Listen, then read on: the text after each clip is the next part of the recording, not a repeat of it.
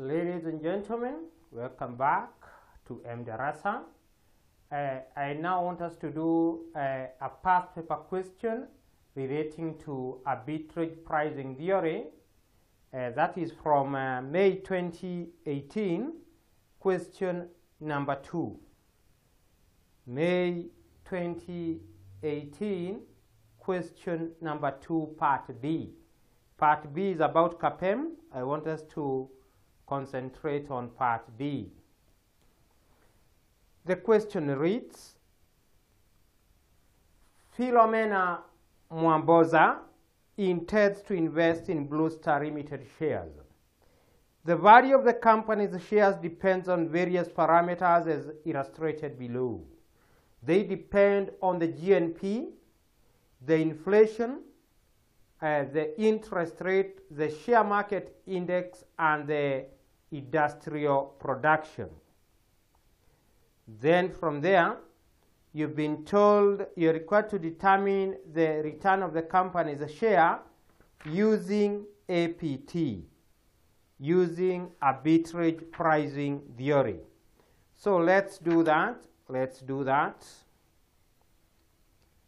Let's do that. Are going to apply arbitrage pricing theory to determine the expected return.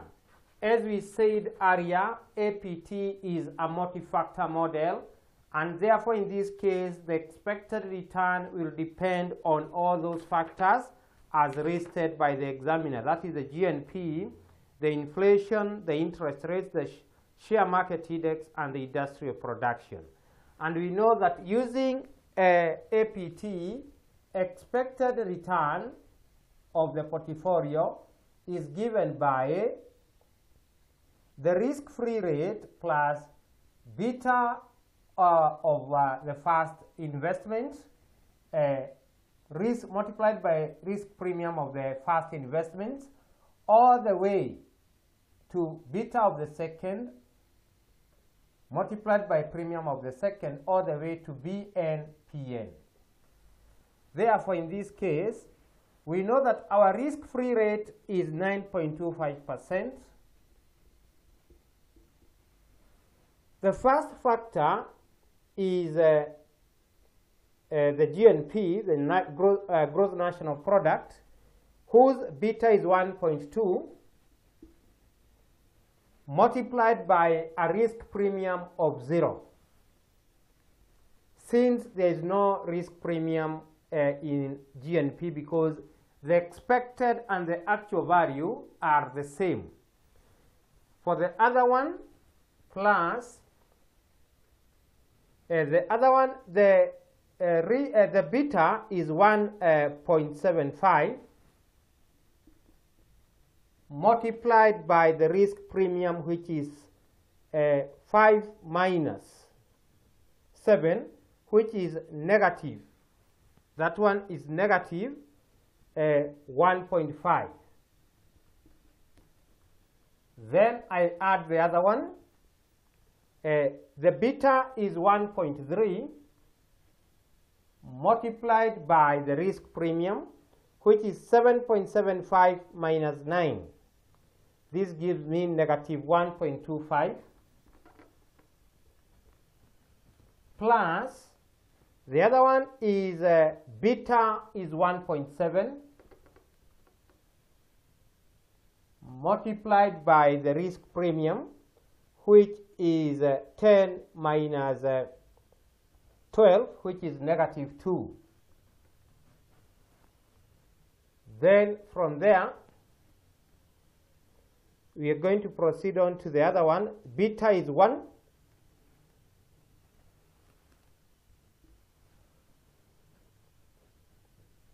Beta is 1. And then uh, the risk premium is uh, 7 minus 7.5.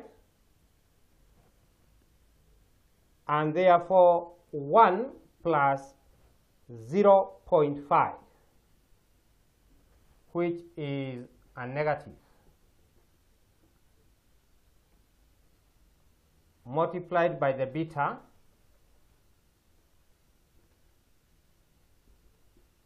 which is 0.5 Therefore, let's calculate our expected return. Let's calculate our expected return. Let's take the premium uh, with absolute values. We are supposed to take the premium having absolute values, and therefore, absolute values means that we ignore the negative sign. Therefore, it will be 9 point, it is 9.25 plus 0 plus 1.75 times 1.5 plus 1.3 times 1.25 plus 1.7 times 2 plus 1 times 0 0.5.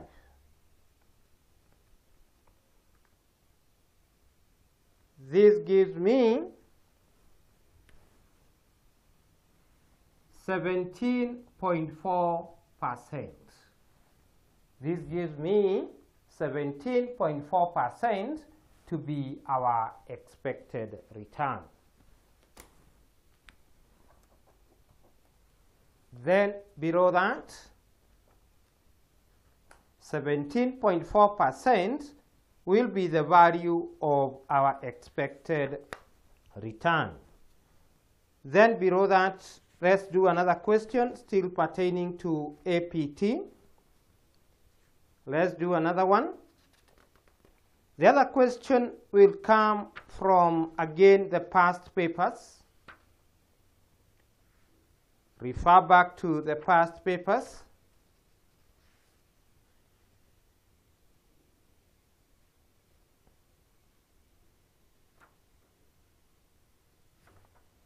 Let's get back to the past papers.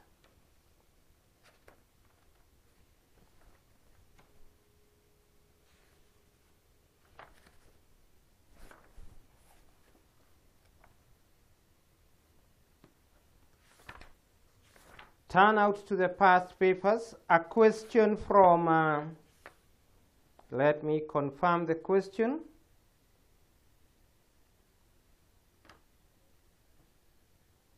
Uh, yes, a question from the past papers from November 2016. November 2016, question number three. November 2016, question number 3C. Let's get there. November 2016, question 3C. The question reads, the question reads, You have been appointed as a portfolio manager of Big Fund Limited. After evaluating the investment portfolio of the fund, you divide the market into four portfolios following two dimensions value, growth, and small and large. The weight of each portfolio in the index is given below, and you, have, uh, you design the following model. You have been given the weight, the sensitivity of the factor, that is the market beta, sensitivity factor, that is the price book value, and sensitivity factor 3, which is the average capitalization. Now, using the APT, determine the portfolio that has the highest expected return. You determine the portfolio that has the highest expected return. Let's start, uh, we know the formula. Let's start with the small value portfolio. Small value portfolio.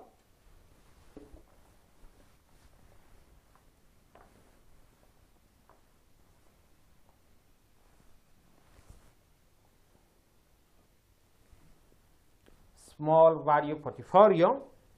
We know that the risk-free rate uh, as per the question is 2. So, small portfolio.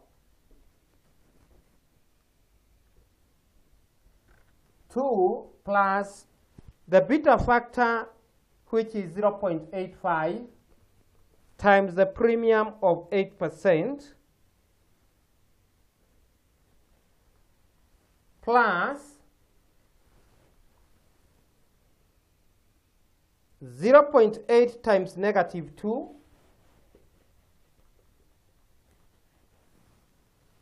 plus 1 times 0.1. Once you do that, you get 7.3%. Then small growth portfolio.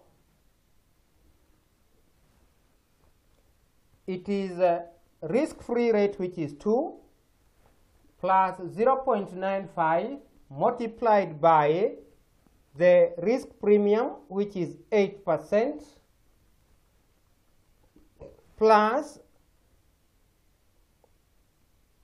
the other uh, plus the other risk factor or the other risk premium which is 2 multiplied by negative 2 plus 8 multiplied by 0.1. Once you work out this, it gives me 6 percent. Then we go to the large value portfolio.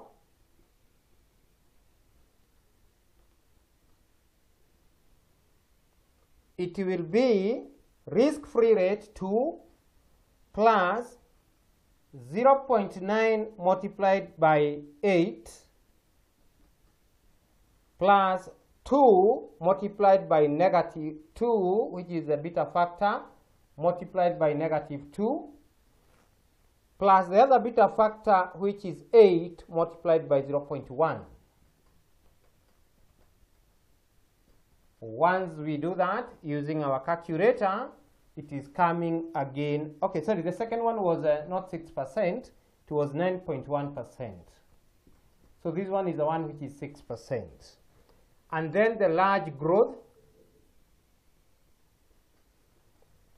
which is 2, which is the risk-free factor, plus the beta factor which is 1.1 multiplied by the premium which is 8 plus the beta factor, the other beta factor which is 2 multiplied by negative, uh, 2, sorry 3 multiplied by negative 2 plus 10 multiplied by 0.1.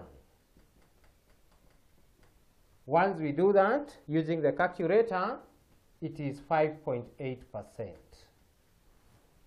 Therefore, you compare these three values, these four values, and you come up with the one which has expected return, in which case it is small growth investment, which has an expected return of 9.1%. Therefore, ladies and gentlemen, that's how you apply uh, the APT model to ascertain the expected value of a portfolio. So let's have a short break and then we proceed on. Thank you.